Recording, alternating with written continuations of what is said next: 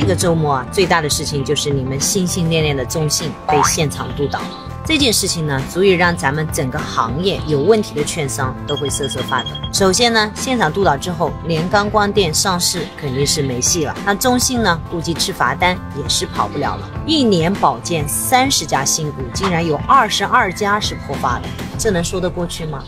再一个，监管层未来很可能会加强常规化的现场督导和现场检查。那上周传的最多的呢，也是监管对基金公司进行跨地区的抽查，这都是监管加码的里程碑。之前我的视频说过，今年 IPO 数量可能会缩得非常厉害。截止到现在呢，只有一家 IPO 提交通过，七十多家竟然是主动撤单。这些公司为啥都这么慌忙撤单呢？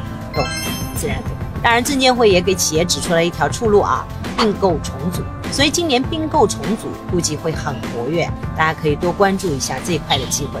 不过，作为牛市的旗手，这一轮券商的行情确实是比较萎靡的。市场呢，天天成交量上万亿，但券商就是不动，主要是 IPO 成交不好赚钱了。那光是中信证券今年就主动撤回了七单 IPO 项目，券商板块能好吗？这个周末呢，我们还被一场来自俄罗斯的袭击事件打破了平静，一百多人遇难。两周前，老美也是发布了恐怖袭击的警告，太猖狂了，看后续怎么处理吧。希望下周 A 股呢也因此买单。最后说点正能量的，这个周末呢，几大巨头像百度、阿里、苹果啊，都放开了免费的长文本。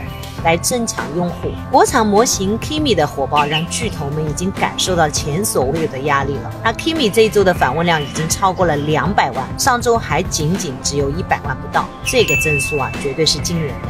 那搞得 Kimi 啊一度都宕机了，因此巨头们呢不得不开始抢跑。所以对应未来最大的两个确定性机会，一个是算力的暴增，第二个呢是各种语料的需求会激增。下周这两个方向估计要继续嗨了。具体下周还有哪些机会和风险？今晚八点半来我直播间，咱们细聊。以上信息仅作为学习交流和知识分享之用，不作为投资建议。